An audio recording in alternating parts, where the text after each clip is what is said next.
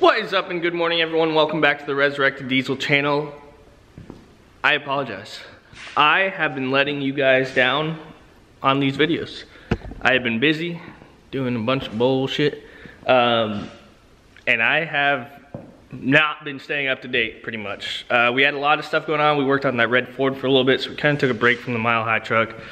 Um, I forgot my camera, a few things. We got some parts here, which you can probably tell by the title, but Without further ado, we have picked up the powder coated axles for the Mile High Duramax. So we'll just, we'll show you real quick.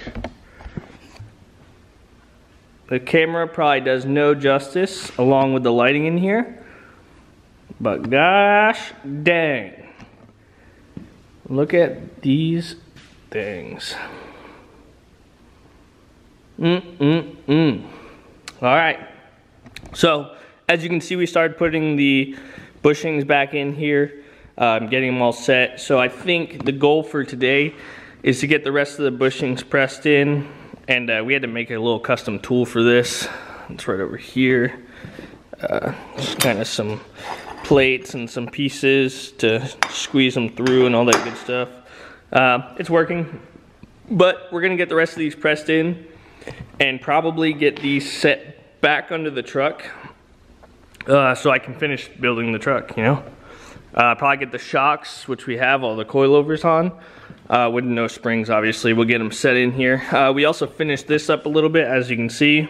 Uh, we extended it out to plate the rest of the frame. Got it all bolted in. It's not like tight tight or have lock nuts on it. We just got it bolted in for when it goes to paint and all that stuff. So the other side, I believe we're almost done.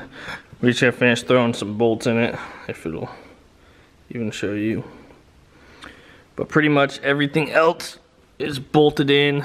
Sorry, I'll turn the light on here in a minute when we're working over here. Front's ready. So all that's left really that we have to do is build the steering and build the panhard bars and the uh, um, the mounts for them and the cross member for the rear. And this thing will be ready to roll out. So maybe by the end of the week we have to get the axles rebuilt, but that's happening next weekend in like five days from now. So if we can get everything pretty much built to that point that we just need to rebuild them, then we're pretty much sitting pretty and this thing will maybe come out next week. So it's definitely gonna be crazy ride and then it's off to paint and body work. So yeah, it's, uh, it's getting there slowly but surely. So we have the front and rear axle set under the truck after pushing in those bushings. Um, the back I have set up on jack stands with the coilovers, or the shocks at least. The Not the springs anyways. In the truck we need to get some measurements, finish some last stuff. But it is all in there. Man, do these look good.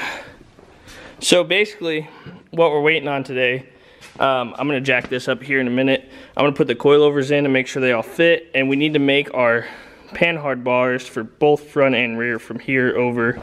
And then also we need to make our steering and everything. So basically for today, I'm gonna get this jacked up, set on some jack stands, and then make some steering and uh, well, start planning out the steering, get the knuckles on and everything, and see what we can make happen. We might need to order some stuff, but anyways, we have them both under the truck again, bolted on, not fully, but we're gonna jack this up now and get it set where we need it, kind of centered and everything on both of them, kind of center them. That way we can take proper measurements. I still have to make a cross member that comes across here, from right down here to there. Um, the reason we have to get the front in is because we need to know our steering before we can um, you know, before we can set the rest of it to eliminate bump steer. So it's kind of a lot that goes into it. Basically, we're gonna make our drag link from our pitman arm to our knuckle. And then once we find the length and the degree of that bar, we can then make our panhard bar to match.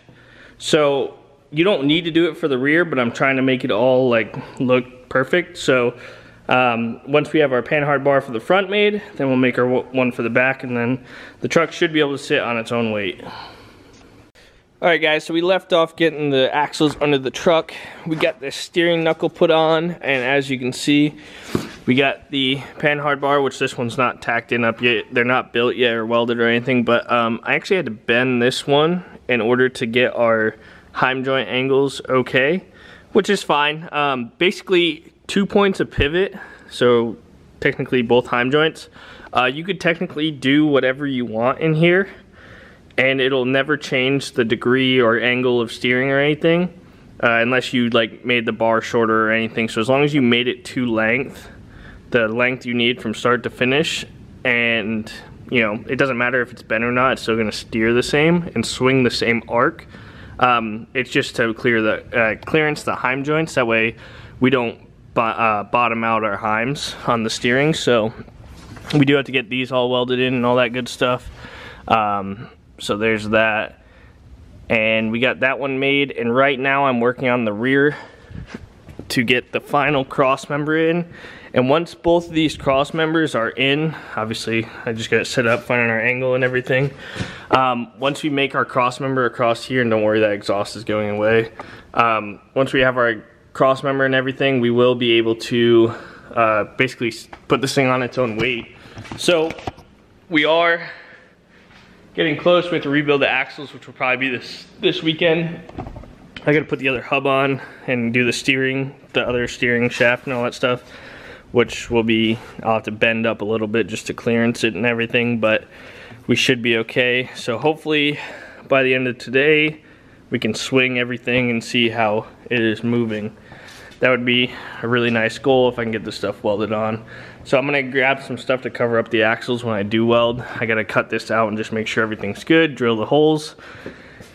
And yeah, then weld up a few bars and we should be ready to rip. This thing is coming along quick. We're at the final few stages and then we can see this thing roll out of here and hopefully next week. So like I said, we will be rebuilding the axles this weekend, getting all the new bearings and everything pressed in uh, getting all our pinion and all that good stuff set. And then basically, that's pretty much it. But man, is that looking good. I'm excited, super, super excited. So a lot of work, just trying to grind it out, see this thing finished so we can get it off the paint and then, you know, finish up what we got to finish up. So it's, it's coming, it's coming quick. So with the axles under the truck, we got our bars made up. We got our steering link all welded up. So everything is pretty much done. And we did cycle it. Obviously, you can see it's up right now. We went through the suspension travel. We have basically minimal bump steer, which I'm super stoked about. Um, as far as everything goes, we are working on rebuilding the diffs right now, which you can see the carriers over there. Uh, we were supposed to finish today. Some things came up. We're not going to be able to. So this video is kind of kind of going to end here, but basically we're almost ready to get this thing back on its own weight.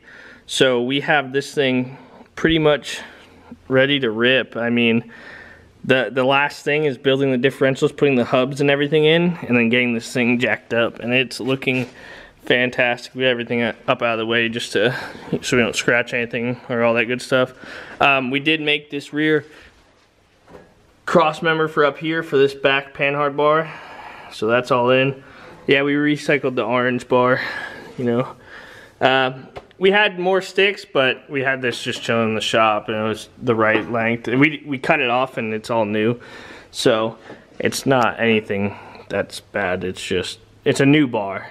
It just was painted because I'm an idiot and spray paint things. Um, but yeah, so we got those bungs welded in, all the new stuff, everything on. So now all he's got to do is land his exhaust through that hole, which I had to cut off. And this thing will be good. We're waiting on the transfer case from Mark at Kodiak Truck, which there'll be a video on that too. Um, but yeah, we're pretty much almost ready to put this thing up on its weight. So I'm pretty, pretty excited for it. It's gonna be badass for sure. But that's gonna do it for today, guys. As you can see, uh, the light's not terrible there's a badass L5P in here, so you know what that means. Uh, you guys probably won't see this, but I figure I'd give you a little tidbit on it. Just a clean 18 dually. It's uh, getting some love, so we're gonna work on this thing and hopefully finish up that this week, get that out. We got a few head gasket jobs coming in and everything. But that's gonna do it for me guys i hope you enjoyed the video if you did drop a thumbs up if you think the truck's coming together great and you're super excited for it like i am make sure to hit that subscribe button and follow along with the builds. And uh, we'll see you guys later. I'm out.